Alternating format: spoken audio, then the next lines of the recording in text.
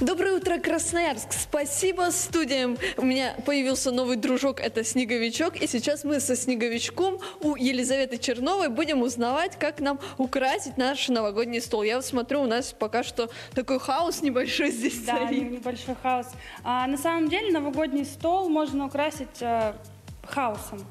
И всем, что можно, все, что у вас есть дома, из всего остального можно сделать конфетку. Смотрите, э, Снеговичок нам говорит о том, что у нас есть еще свечи, которые нужно обязательно как-то оформить. А если у нас нет подсвечника, что нам делать? Нам нужно будет взять просто два больших широких глубоких стакана, насыпаем туда, э, мы взяли рис, на самом деле можно взять все, что угодно. Ну, так как у нас рис Традиционный. символ, да, такой э, денежный, Можно кофе, да, взять для Да, аромата? если у вас маленькие свечки, у нас свечи длинные.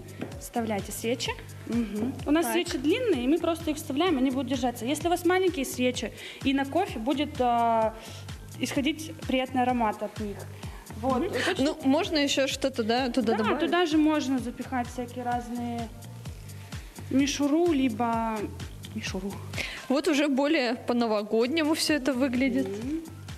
Вот. И шарики у нас есть. Так, смотрите. А, дальше продолжаем уроки сервировки. Что нужно обязательно должно быть на столе? Ну, на столе у нас должна быть тарелочка, тарелка и приборы. Для приборов можно использовать вот такие кармашки, они очень лег- легки в э, использовании и Изготовление. изготовлении, да. А, мы складываем э, ткань с двух сторон, прошиваем три раза, и вот у нас и вилочка, и, и нож э, спокойно сидят вместе и не теряются нигде по столам. Зачем нам две тарелочки? Две тарелки очень удобно и для хозяек, и для гостей, потому что мы покушали салаты, убрали тарелочку и, пожалуйста, мы кушаем горячее. Действительно, очень удобно, не все, может быть, об этом знают. А как нам лучше расставить закуски? Ну, я думаю, закуски нужно будет подставлять ближе к э, тому, кто что кушает. А кто сидит дальше, это уже проблемы. То есть, например, если я люблю оливье, я к себе так Конечно. оливье. Так и нужно пододвигаю. Я люблю рыбу.